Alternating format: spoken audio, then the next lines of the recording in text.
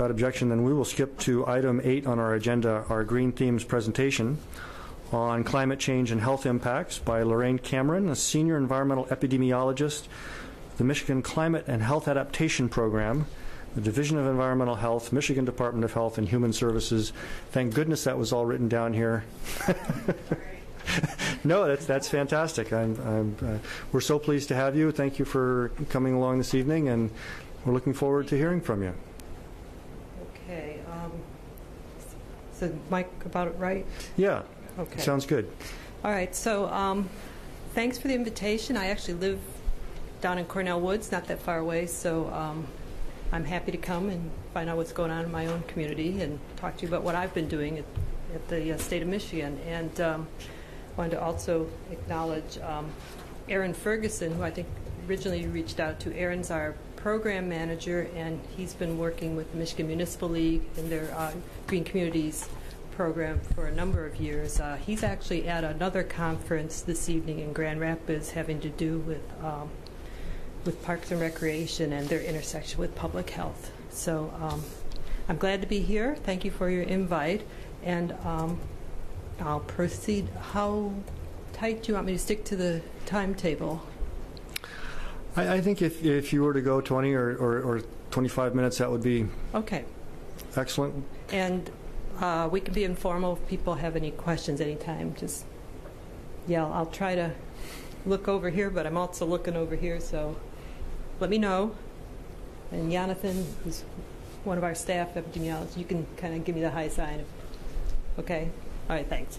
All right, so um, so I always like to put my objectives of why I'm speaking out because this helps me organize my thoughts. And really, what I want to try to do in the next 20 minutes or so is, first of all, describe our Michigan Climate and Health Adaptation Program uh, and some of the information that we've compiled uh, over the last seven years. We've been funded about what we've learned about climate in Michigan, what are the important human health uh, issues, who's at risk, and where are they, and how interventions can be used to help communities adapt.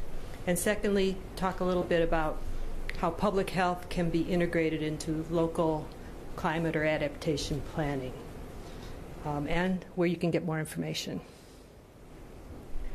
So just a little bit of background about our program. So I'm with the state of Michigan in the what used to be called the health department. Uh, we are now part of the Michigan Department of Health and Human Services, as you said. Um, and since 2009, we've had funding from the Centers for Disease Control and Prevention, along with uh, 16 other states and two cities, uh, under a program called the Climate Ready States and Cities Initiative. And this is a group that has been working on the adaptation end. So, uh, talking less about mitigation and I'll get into what those terms mean if you guys aren't familiar with, but less about reducing greenhouse gases and more with dealing with the effects that we are seeing now from a changing climate. So I'm happy to hear that Jeff Andresen is coming to speak with you. He worked with us quite a bit uh, on our program, and I'm going to be pre presenting some data that he, uh, his program gave us uh, this acronym here, GLISA, is the Great Lakes Integrated Science and Assessment Center. It's, believe it or not, jointly run by the University of Michigan and Michigan State University climatology programs. Um, and they've spent a lot of time looking specifically at Michigan and the Great Lakes climate, both past and projecting into the future. So I'm going to run through these quickly because you'll get a lot more details from Jeff a little later this um, spring. So this map shows you what we know historically about the Great Lakes and area of Michigan, and this is from uh, national data, the National Climate Assessment. And what it shows you in a nutshell is that um, we've been warming up. Since 1960, uh, the average annual temperature has gone up about 3 degrees Fahrenheit, which doesn't sound like a lot, but if you think about your own body and if you were at 101 versus 98, you wouldn't be doing so hot. So uh, uh, the other thing to, that you'll notice is that the red on the map, which is the greatest rate of change, is further north, and this is really characteristic of climate, of what's happening with our climate. That the the further away from the equator, the more drastic the changes are, or have been, and will continue to be occurring. And as you see here, I've noted that Michigan has warmed faster than the national rate of warming historically since the 60s, and more in northern Michigan than southern. So um, the climatologists have used the information that they have about greenhouse gases and climate patterns, and they've projected for us into the not the far future, but you know the next 50 years or so, and we see that um, we are projecting to be warming another one and a half to four and a half degrees uh, over that time period, but it's not even across the state and it's not even across the seasons. So, what we're seeing is that in the winter, in particular, things are warming more rapidly, and we sort of noticed how winters have been less severe in general. Uh, in the past, and that's going to continue in the future. But also, uh, we've noticed that um, the north is seeing more extreme changes in these seasons. The other important thing to think about when you think about warming temperatures is extreme heat days, or heat waves as we call them. Uh, when it gets above 95 degrees or so, then then's when we start getting concerned about human health and about people getting heat uh, illness or heat stress. And um, historically, Michigan has had some heat uh, waves, which have been threats to human health. Uh, not a lot as compared to southern states, but there is a projection that these will be increasing, um, again, more in the southern part of the state. So, climatologists, as I understand it, basically measure two things they'll measure temperature and they'll measure precipitation, and those are the things that they can project. They, they don't feel as comfortable projecting things like wind patterns, tornadoes, and things like that. So, the other part of, of climate change is looking at precipitation, and this map excuse me, this map shows what's been happening historically again since the 50s. And you see, in general, we've been getting more rain, but it's very variable across the area. And again, it depends on the season. We're going to see more rain in the winter, uh, maybe a little less in the summer. We might even see some droughts. So, um, this again, more severe uh, winter changes in the north and the summer droughts in the south. But the, the real concerning thing in the in the projections is what's going to be happening with what we call extreme precipitation or heavy rain events, which we've defined here as more than one inch in a day. And as you know, Michigan's had some really bad ones in the past. I think it was two summers ago when they got six inches over 24 hours in the Detroit area and had those terrible floods. So um, we are projecting to have more of these extreme precipitation days. Um, again, following sort of a north south gradient where you see that um, it's going to go up by as much as 30% in the Upper Peninsula, but we're expecting it to go up in the future, something we're dealing with now, actually. Am I going too fast for you guys? Are you, are you okay? All right. Um, and no questions so far. As I say, I'm not a climatologist, so I'm sure Jeff will give you much more uh, in depth description. So, this is sort of my understanding of the important points when we think about health. So, as part of our project, we worked with the climatologists in Michigan to look at these changes that are happening in Michigan, and then we tried to figure out what are the impacts on health. And we identified five areas where we think it's important uh, health impacts for our state. And this chart here sort of summarizes the, what we're calling the key health outcomes. These are things that will affect a lot of people and that are substantial effects. So the first one I have listed here is respiratory diseases. And so, with the increases in heat um, and temperature, we're expecting more um, what I'm calling here a, a biophysical parameter. That just means something that's changing due to the change in climate that is that's actually having an impact on health. So the warming and the is leading to more air pollution, which is leading to more stress on the respiratory system.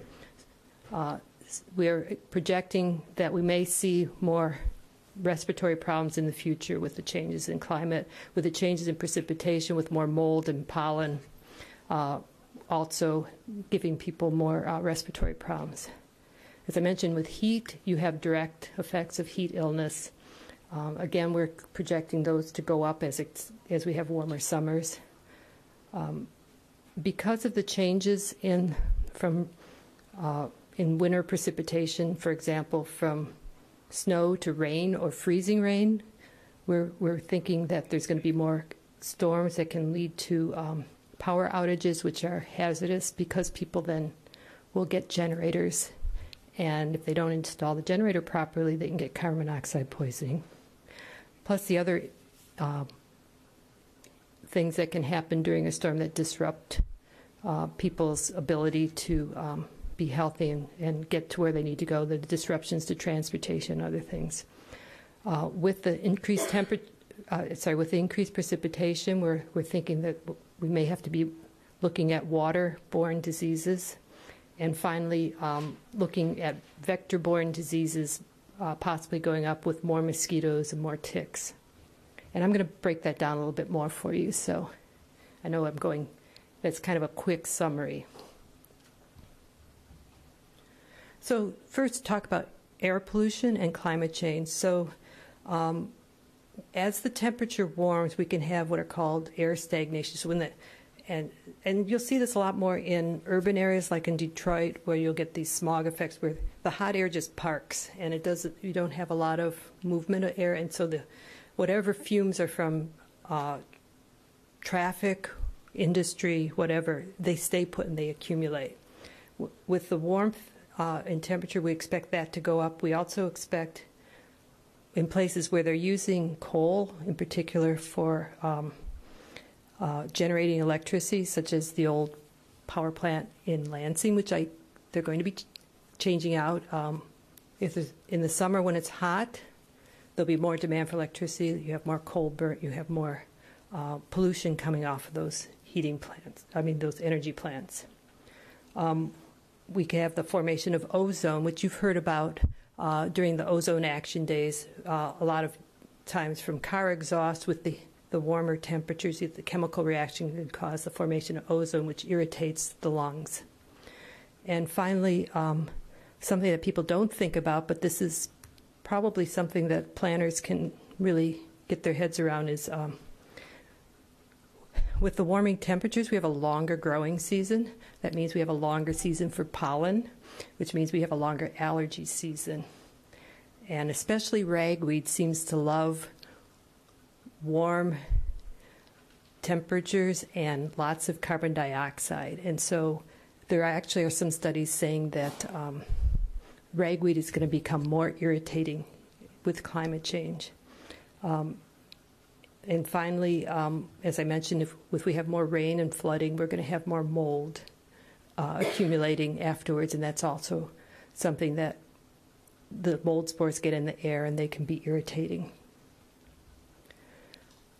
I don't know how much you've looked at the data that is available about air pollution in Michigan, but this map takes data from the EPA, you know, the Michigan Department of Environmental Quality measures particulate and ozone air pollution, and uh, for EPA, and they send that to EPA, and we've been able to map the average um, averages by county um, for both ozone, which is on the left map, and partic- PM2.5, which is a very small particle that can get into the lungs on the right hand side. And as you can see, um, I don't know if I have a little pointer thing, but so I believe that's Ingham County. I don't know, you can't even see that. So if you look at where Ingham County is, which is sort of in the middle, we're okay as far as ozone compared to the rest of the state. Our average is only two days above the standard, whereas the Michigan average is 3.6. But we're not doing so hot with particulates. We're above the state average, which is 9.7. Our average is 11.4. Um, so that's something to be aware of um, as we go forward. That this is this is going to be an issue um, with the warming uh, temperatures and with more generation of air pollution. Um, some people are kind of surprised to see that little band of high ozone along Lake Michigan, and that's actually blows across the lake from Chicago and Milwaukee, so air pollution can travel quite a ways. I don't have any data that's specific to Michigan about pollen levels. Uh, we only have one pollen measuring station that's recognized in the state, and it's over in uh, St. Clair Shore, so it doesn't do us a whole lot of good out here in, in mid Michigan. But if you look at this um, picture that's from a, uh, an EPA document, uh, there are some researchers that have studied the change in the ragweed season from 1995 to 2013. And you can see as you go further north, the ragweed season has gotten bigger, has grown more. So the um, increase since the 90s for the latitude, which is around Michigan, is somewhere around 15 days. So that means you have two more weeks of misery if you have asthma or allergies, thanks to the warming climate since the 90s, and we expect that trend to continue. And as I also mentioned, with an increase in carbon dioxide, we expect some of the pollen to actually become more irritating. I talked about heat causing uh, health effects.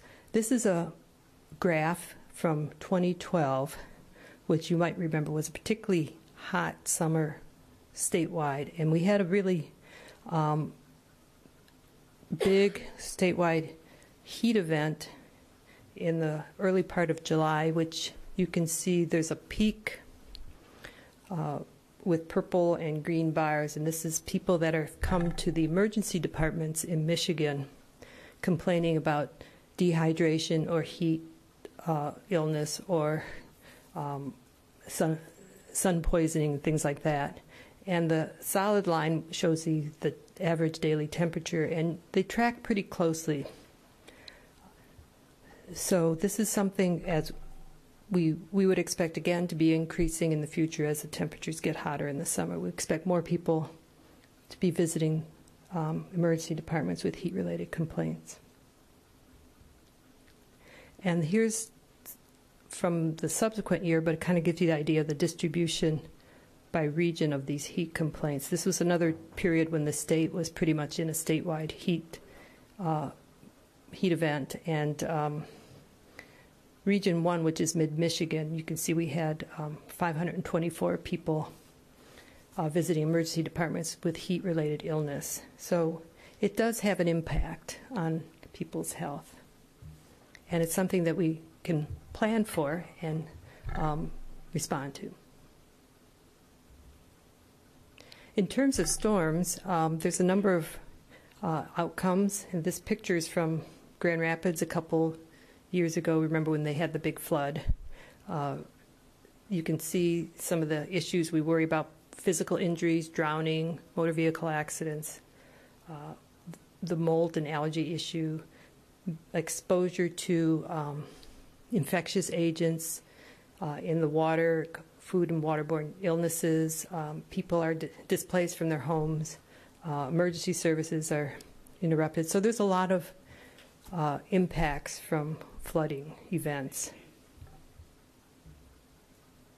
Just to give you a picture of what Ingham County looks like, I, I couldn't get these statistics for the township, but there is a database that NOAA has of storm events, and you can see all the storms since 1996 that were severe enough to cause deaths, injuries, something they call significant property damage uh, or disruption, or were kind of just weird. Um, and if you look at the the um, chart, you can see that um, the most common types of storms that have been significant in Ingham County were thunderstorms or high winds.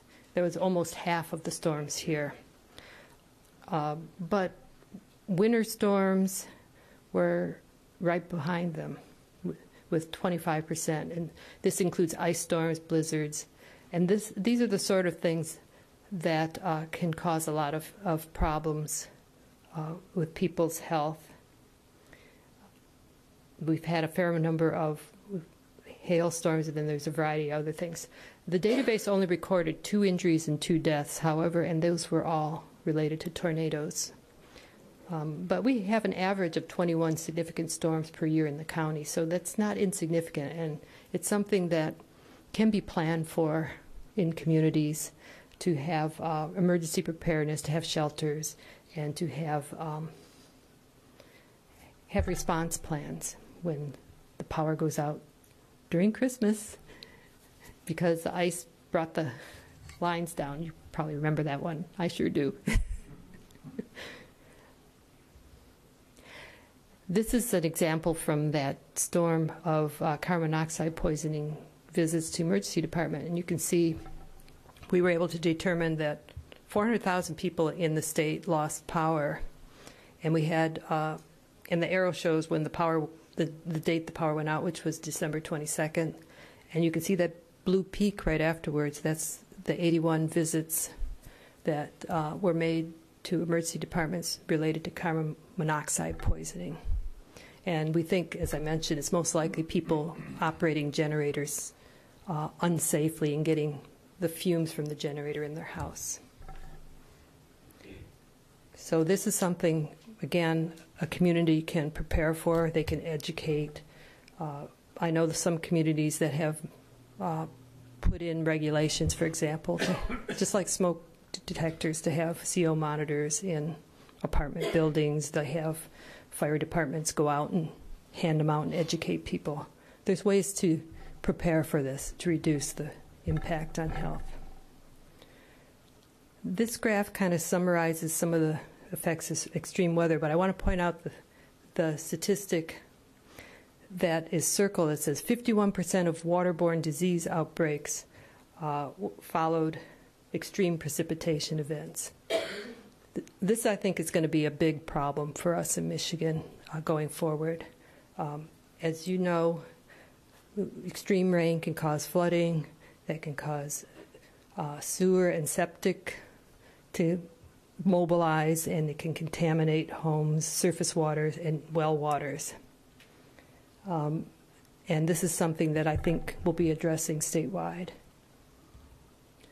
So I looked again, I couldn't find good statistics for uh, Meridian Township, but I looked up for Ingham County what I could find out about some of the risks. And um, turns out, at least for the statewide data, the only reliable data I could find on well and septic was from 1990 Census of Housing. After that point, the federal government stopped collecting that data, but this is the data DEQ also uses to project. And at the time, if you can see on the, the slide here, about 51% of households use private well and septic rather than public water. Now, if you take that 51% and you multiply it by the current population of Ingham County, you can see that there's about 62,000 people in Ingham County that are roughly that are on well and septic. This could have changed a little bit with development. I don't know. You probably have better statistics locally than I was able to get for the state, but it's a lot of people. Um, the county health department reported an average of 56, 57 septic failures they investigate per year, which we know is not everything. Um, so that's a little bit concerning. You may be aware that the governor has a water strategy which talks about septic and water quality and whether the state needs to have a septic code. And turns out that Michigan has the distinction of being the only state in the union that doesn't have a statewide septic code. So that's kind of uh, not where we want to be, I think. Um, and the final point on this slide, uh, I just want to you may be familiar, there was a paper that came out from some researchers at Michigan State University in 2015 where they sampled watersheds in the lower peninsula and found 100% of our watersheds had human fecal contamination. Now, I don't know about you, but that bothers me. uh, and I think this is an area that there's going to be a lot of concern at the state level, but within the township, it's something that I know you're interested as well and might want to think about how your planning can address that. Finally, I want to talk a little bit about bugs. I'm not an entomologist, but um, we do have one at the State Health Department, and he does, uh, he collects information on human cases of Lyme disease, which is carried by the black legged tick, and he also does uh, surveys for ticks. You can see on this map there's dark red counties and there's sort of pink counties. The pink counties have the ticks. The red counties have the ticks that are infected or people have gotten Lyme disease from being in that county. And you'll notice that Ingham County is a red county, so that means we have infected ticks here. And I know from what he's told me that he has found samples both in Lansing and in Bath Township of infected ticks. So, something for the township to think about, especially when they're thinking about parks and walkways, what needs to be done to protect citizens from being exposed to potentially infected ticks. And there are methods to do that. Just really quickly, I wanted to mention planners. I, I don't know if, if anyone here is uh, formally trained as a planner, but they have their, okay, so you have your roots in public health from the sanitary movements of the early 20th century. So you're our brothers. Um, we are interested in, in working with you, with planners, to bring the public health lens into the master planning. Um, this slide refers to a training that our department did with a nonprofit called LIAA, which is uh, uh, promotes regional planning, and so we've developed some materials for for planners to learn about how to look at public health issues, and I think not just for things like I've talked about with climate, but more generally, uh, other public health issues. Uh, and this is just sort of the, the process that LIAA had developed. Um, educate, engage stakeholders, use data. Um, you can look for people's sensitivity. Uh, we know people who are elderly or are already uh, impaired in terms of their health can be more sensitive, they have less reserve to respond when there's a, uh, a stress on them, like a heat event or a storm or a flood. So also, people who are um, low income have less resources. So, in your township, you can figure out where those people are, and those are your vulnerable people. You can also look at where what parts of your township have potential for exposure to hazards. Um, where are they? Where are the floodplains? Where do storms typically occur? And that's something that I showed you on a statewide map. Where are your septic combined sewers? I don't know if they're all gone here. I think they are. I hope they've been all separated. Um, where the private wells are, where your green spaces are that keep things cool, where the heavy traffic is, where you have exhaust, and and this area, Meridian, has done a lot already. I know they've done some things to reduce uh, exhaust with buses and things. So um, this is the other part of vulnerability. And just to show you really quickly, other communities have actually been able to take these factors and map and say, these are the neighborhoods that we need to concentrate on. You can see this is a map of Detroit looking at heat and flooding. The dark colors are the high uh, highly vulnerable areas. So those are the folks that they need to think about first in terms of of uh, preparing for these events or responding. Finally, I hope this looks familiar to a few of you. The Mid Michigan HIA Toolkit, uh, which was developed by the Ingham County Health Department, Michigan State University. Um, also, Barry Eaton at Mid Michigan Health Departments and the Tri County Regional Planning Commission. And I know that some folks here in the township worked on this. Uh, Janine Sino in Ingham County Health Department manages this project. This link has some really great mapping capabilities that you can use for your uh, climate planning. Um, Janine mentioned to me that Meridian Township does a lot already using the toolkit in terms of um, looking at new projects. Uh, they've done, I think, 21 last year that she mentioned to me, but you can also use it for your climate planning to look at your climate vulnerable areas. You can look at your floodplains, for example, using this tool. So it's a great tool. I wish we had it for the entire state. Um, I think I will leave you there. Uh, we have lots of resources here listed with links. I'll leave these slides um, with you guys. Please feel free to contact myself or Jonathan or Aaron at the State Health Department. Um, there's some other uh, resources here from American Public Health Association, LIAA, uh, the National Climate and Health Assessment, and so forth. And uh, I thank you for your time.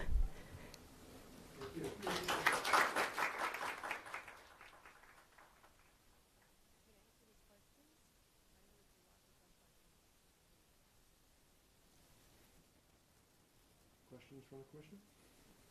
Yes, sir. I'll, I'll try one. Okay. Trying to, gr- trying to digest all of this. I know it's a lot, I'm sorry. One slide that I saw, you had the number of days of increase of uh, ragweed. Oh, yes. And I wondered, was that starting f- from the same place? I mean, Mike, the UP showed, This one? yes, the UP showed 27 days increase. Would they have been at a much lower level, I presume, than, let's say, down around Lansing, which is going to have 10 more days? Probably, yeah. These actually, this study monitoring stations that were in operation for quite a while, since the 90s. So those dots are actually cities. They're not m- in Michigan. I think there's like in Wisconsin and Minnesota, and then there's Oh, okay. but they're on the same latitude as Michigan. But yes, I think you're seeing is a rate of change, and and kind of if you think about like the uh, the USDA planning zones, how they've been changing over time. If you're familiar with those, if you're a gardener, it's the same sort of thing. I mean, we're starting from a cooler place, but we're warming up fast. hmm We're not as hot as Alabama, um, although in 100 years they say we may be like Arkansas. but yes, that's you're, you're ex- absolutely correct. Okay. Very perceptive, too. That's, that's big numbers up there in the north. Yeah, yeah. Well, as I mentioned, what's happening with the changing climate is that things are changing faster the further north you go. I mean, the polar ice caps melting. That's rapid. in Alaska. It's just devastating change. But they're starting from a cooler place, but they're warming up quickly. Mhm. Yes, ma'am. You talked about water quality. Yes. Do you have any data on, um, do you have any data on the increase in uh, harmful algae blooms in inland lakes? I mean, I know that there's a lot on ocean, Yes. but how about inland lakes? The people who would have any information would probably be, I believe, the local health departments would go out and measure um, and report it to the Department of Environmental Quality. They don't sample, and so this is not my area, so I'm not 100% sure, but I believe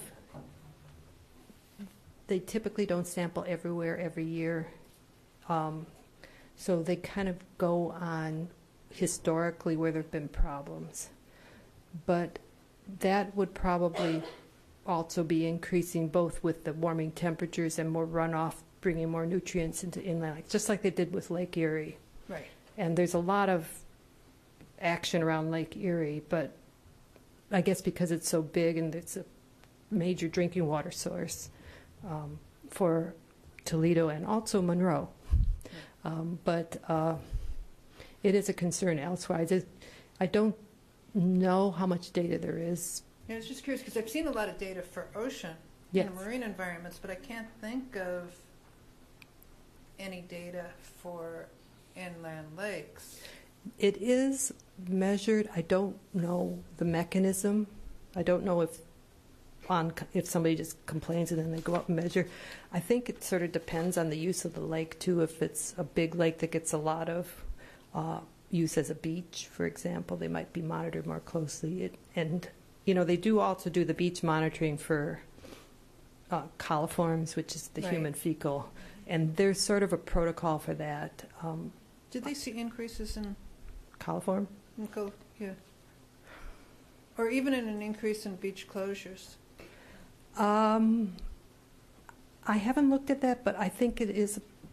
People think it's a problem. I know, not here, but up in Charlevoix, that they have some major concerns about contamination of Lake Charlevoix and the, the issue of septic there. And I've heard that similar problem around Lake Lansing, but I don't know specifically. Um, I would expect if you have a lot of runoff into the lake, you would have more Yeah. problems. And some of that depends on the soil type. And we have pretty impervious soil. Some areas where it's sandy, it goes right down. It's not as big a problem. But again, that's more of a Department of Environmental Quality thing. That's their responsibility right now to do those measurements with the local health department. If, if I was guessing, I would say, yeah, it's a problem. I mean, just based on the fact that we're finding it in all the watersheds. It's, and it's human. It's not coming from animal confinement. It's not coming from dog waste. It's they use some sort of a DNA identification as it was human fecal. So I don't know. Anyone here a, Vice- water water chemist or a microbiologist? Nope. I'll make that a homework problem this, uh, in air pollution this semester. Ah. Uh, well, Joan Rose might know the answer to that question. If you know, I know, Joan. if you can get a hold of her, ask her. I wonder if you could uh, talk a little about the role of the state uh, government related to adaptation. Uh, Okay. are, are there any statewide initiatives kind of planned to kind of deal with these issues? Uh, Okay. Um, well, Governor Granholm had a climate action plan. When she left, as far as I know, that plan was shelved. There have been activities not only within our health department but other parts of state government to try to grapple with the issue of climate. I know, for example, MDOT, Department of Transportation, has been looking at impacts on infrastructure around major roadways. Um, I know that there are folks in ag that are looking at issues in forestry and so forth. I think it's been sort of done very quietly. Um, I don't think there's a uh, there's no there's no official state policy or official climate state climate action plan since the Granholm plan. So, what we're doing, for example, is um, we are working as a grantee to the Centers for Disease Control and Prevention, and this falls kind of within our mandate to pr- prevent or mitigate diseases in the state. So I don't know if that's answering your question, but I'd, I'd, I'd say that there's no policy per se that I'm aware of that encompasses all state government. I think each department or several departments within state government are thinking about. I know, for example, state police has been looking at a lot. For example, in terms of you know critical infrastructure and emergency response and things like that. And as I mentioned, ag. I know um, extension is doing a lot. Uh, they're quasi-governmental, I guess. They're really part of MSU, um, but there's nothing that you can point at, like at a state website, that is all-encompassing. I'm sorry, I can't be more specific. no, that's- But certainly, if you have any questions about the health end, we'll do our best to respond. Can I answer any other questions? I Yes, sir. could, uh, I'm sorry, go ahead. You mentioned Lyme disease Yes, and black leg ticks. yes. Uh, What are the vectors for those? Are deer a possible vector for Yes. Could you repeat the question? Yeah. Uh, so the question was with regards to Lyme disease. And let me see, I brought an extra slide on that. And the black legged tick, and yeah, there it is. Um, and what their, the vector for the tick is. Well, Um, it turns out that deer, th- these ticks do like deer, but they also like other mammals, so they like mice and other rodents, and they'll even uh, attach to birds. So um, there's been some investigation about culling deer herds as a way to prevent Lyme disease, if that's what you're getting at. And from what I understand, talking to Eric, who's our uh, medical entomologist, that's not very effective because there's so many deer. Like if you killed every deer in Meridian Township, they just come in from other places and it'd be like nothing happened. Uh, so the types of controls would affect some of these other things that he listed here. Um, it's, this is what he's done in some places in the state, like on the west side, where they it's a really big issue. They'll have public education in parks. They'll have signs up reminding people to check for ticks, how to, you know, wear the coverings, you know, tuck in your pant legs and such. Uh, spray with um, with insecticide, and and then the cultural and landscape controls, which is also sort of a more of a uh, infrastructure type of thing where you can actually, if you remove the foliage from around the trail so that the ticks can't hang on there and when you brush up against it, it jumps on you. And these desiccation barriers, which you put in strips where it's dry and they don't like that. Um, so there are some mechanisms that people have developed, and mostly from states where it's really rampant, such as west of us in Wisconsin and and Minnesota, or east of us in New England. I mean, we're sort of in the middle. It's coming. We're in the pincher, um, but they have hundreds and hundreds of cases a year, and so they've developed some of these methods. Does that answer your question? Yes. Okay. Was there another question? Well, I'm uh, making a, a list of, of things that seem like uh, they're worth following up on from, from your presentation. Okay. And uh, uh, the easy thing to do is to ask the staff to report back to us on all these things, but um, there there will be other ways of, of handling this. Um, you uh, posed a specific question about the uh, Mid Michigan Health Impacts Assessment Toolkit and Yes. the degree to which that's being regularly implemented in evaluating uh, development projects in the township. Yeah. There was uh, an issue of uh, whether there is or could be uh, any regulation of uh, or promotion of CO2 monitors or CO monitors in in order to avoid those those accidental poisonings.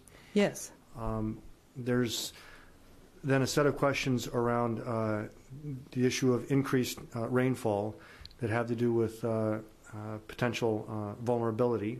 hmm Um, and those uh, come down to uh, how many uh, private well and septic systems are there in the township and how are they uh, regulated? From what you said, there is no statewide regulation of those, so That's correct. it it raises the question of what, if any, local regulation is there or, or should there be? Well, wait, let me correct myself. There is no uh, standard for septic. And in terms of installing, I believe there are regulation for both a well and a septic. And there may be local, like the county may have a regulation, like a point of sale inspection. So I want to be Okay. clear, I- it doesn't mean like they're just nothing. It's but not, it's not free-for-all. It's- regulated at the county level, which Okay. actually means that there's 81 different sets of regulations. Eighty-one. One for every county. Yeah, and, um, you know, you also have to think about how much staff they have to enforce any inspections or regulations. If you have Okay. thousands and you have two sanitarians in Ingham County, and I don't know how many they have, but yes, And the last one was the question of uh, whether there are any combined sanitary storm sewers in the township or what the potential is for cross-contamination in the case of, uh, of flooding. that has been an issue elsewhere. Mhm. Um, I, as I said, I don't know. I think, I know Lansing has separated their sewers. And, it's- and there's been a project going on since the 80s, I think. Um, so probably they're separated here. It's just some of the, I do know some of the older cities like Detroit, they still have combined sewers. And they have big problems when it rains. So those are some of the things you could consider. There may be other things that make more sense for the township, which you would know better than I. Um, So it sound like a, a mix of, of questions that might be posed uh, either to uh, building and engineering or to public works, to uh, county authorities, if, if we wanted to Mhm. learn more. Right, and I mean, you can look at your history here in the township to identify which seem to be the big issues historically, because what I'm seeing when I look at the issues on climate change, it's like, it's going to be more of whatever we're getting now, you know? If we get Mm. floods now, we're going to get more floods in the future. And uh, if we have heat events now, we're going to get more heat events in the future. That's, I know, a simplification, but that might give you some guidance as to, you know, if there's been a history in the past of like a lot of power outages, for example. Well, certainly the, uh, the township uh, mounted quite a, a vigorous response to the, the big ice storm that you referenced. And uh, uh, it sounds as if, uh, in general, uh, folks were pretty pleased that the township took an active uh, uh, and, and Mhm. rapid uh, role in that. Uh, and it seems in this transition from uh, a colder to a, a warmer uh, climate that um, one might expect maybe some of those ice events to be uh, happening that might in the past have been s- snow events. Mhm. So that, that may be an issue uh, for planning going forward, both in public works and emergency services for the township. Yes, and that's my understanding. Great. Other questions? Well, thank Well, you. Well, thank you once again for coming tonight. We're very glad to have you and appreciate appre- your taking the time. Well, I pre- appreciate the invitation, and do feel free, I'll leave you with my card. You can email or call if you want, if you need some follow-up. 'Cause, And uh, you have a copy of the PowerPoint with the, the staff? Um, what I'll do is, I need to make it into a PDF, Mm-hmm. and then I can email it to you. I think it should go. I know it's, it's really big as it is now because of the maps, so I couldn't email this, but, or do you, you can just turn it into a PDF if you want. Yeah, we can work on that outside out. Actually, I'll come to you probably tomorrow. We'll, you know, post it. That's fine, yeah, yeah, this is your tax dollars at work. Well, thank you so much. Thank you.